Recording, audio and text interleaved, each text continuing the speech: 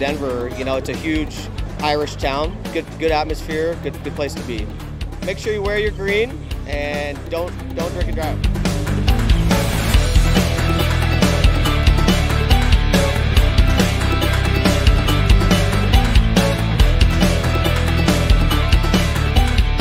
I think the different atmospheres of the bars that we got to experience in people.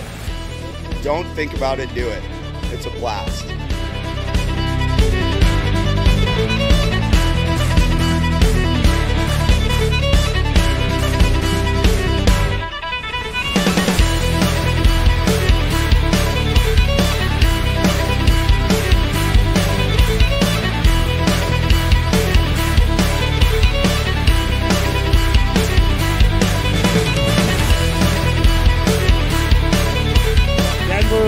Absolutely rocks when it comes to Irish people, a pint of Guinness, a slash J-Mo, or a car bomb.